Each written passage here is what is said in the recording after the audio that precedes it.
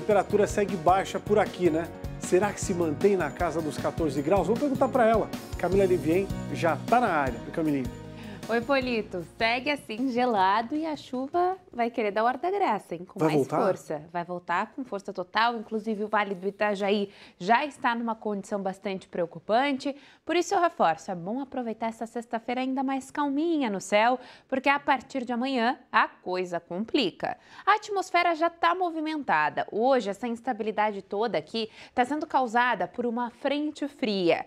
E como se não bastasse a presença dela, que já deixa esse tom emburrado no céu, nós temos entre a tarde e a noite mais um sistema de chuva chegando por aqui, uma baixa pressão atmosférica. Justamente por isso, Santa Catarina está em alerta para chuva pelo menos até domingo. Ela preocupa mais nas áreas em laranja, que estão aqui em destaque na tela, o que pega todo o Planalto Norte, Vale do Itajaí e a grande Florianópolis, onde nós devemos ter os maiores volumes de chuva do período, até 100 milímetros. É o que nós esperamos pontualmente, devemos passar disso, especialmente nas áreas do Vale do Itajaí e do norte do estado. A recomendação da Defesa Civil é que quem não precisa estar na rua, não precisa sair, estar numa posição favorável dentro da sua cidade, sem risco, prefira ficar em casa. Essa chuva deve ser persistente, não vai ser daquele estilo de tempestades. Ela vai começar a cair e depois não para mais.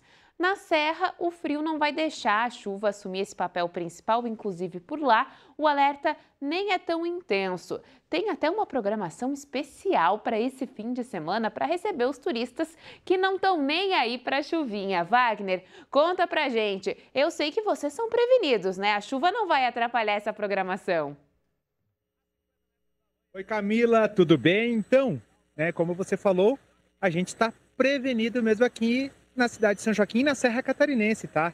É, durante o final de semana vai ocorrer o Festival de Inverno, é um evento que é bem conhecido, né? Aqui na Serra Catarinense, a movimentação de turistas já está bem grande aqui. Muita, hoje pela manhã, muitas pessoas já estavam é, pelas ruas do município de São Joaquim para aproveitar o friozinho, aproveitar a nossa gastronomia e também aproveitar aí a programação do final de semana do Festival de Inverno aqui em São Joaquim, que começa hoje com a estação Ice Park, lá no Parque Nacional da Maçã e do Vinho, aqui em São Joaquim, com um final de semana repleto de atrações musicais, gastronomia, é, é, vinhos aqui da nossa cidade, a gastronomia típica da Serra Catarinense e também durante o final de semana mais um encontro de carros antigos aqui no município de São Joaquim, esse encontro que é o quarto encontro de carros antigos que movimenta também a cidade, traz muitas pessoas para cá.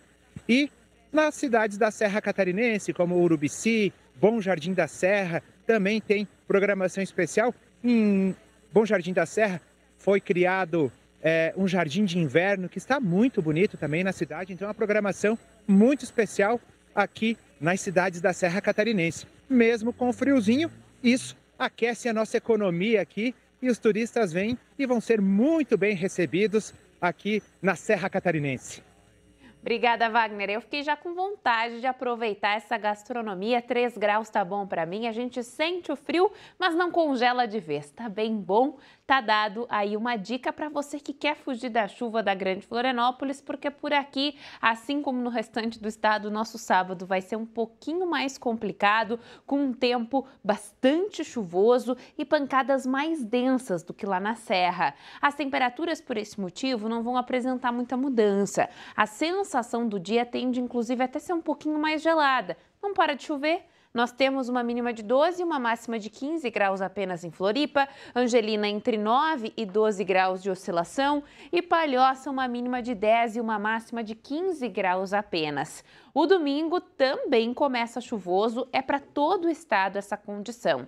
Entre a madrugada e a manhã de domingo, nós podemos ter os maiores volumes de chuva do dia. As temperaturas vão continuar variando um pouquinho, temos uma tímida elevação nos termômetros. E quando eu falo tímida, é justamente porque os ventos vão continuar intensos. E por esse motivo, a sensação de frio tende até a aumentar apesar das marcas chegarem ali a 18 graus. um alívio muito suave nesses 15, 16 que a gente vem registrando. E essa condição vai se manter até a semana que vem. Melhora de verdade na terça-feira apenas. Aí sim, o sol volta, a gente tem uma elevação de temperatura. Até lá, ainda vamos ter que encarar uma segunda-feira de muita nebulosidade, com chuvas no litoral, por causa de um fluxo de umidade que vem do oceano em direção à costa, a tal da circulação marítima. Mas aí na segunda, a chuvinha já é bem mais fraca. É aquele vai e vem no céu, mais incomoda do que propriamente pode causar transtornos. Sábado e domingo já é outra realidade para a gente, para o Vale, para o Norte, monitoramento intenso por parte da Defesa Civil, principalmente o pessoal do Vale do Itajaí, né? Rio do Sul, mais uma enchente por lá. Vamos ficar de olho, porque os históricos nos mostram que a preocupação tem que ser focada realmente nessas regiões, né? Uhum. É, a condição está bem preocupante para essas duas áreas e também para a Floripa, que vai receber esse volume expressivo de chuva. É claro que a gente vai seguir atualizando tudo isso e amanhã também tem Central do Tempo no Balanço Geral. Obrigado, cara. Até amanhã. Até amanhã.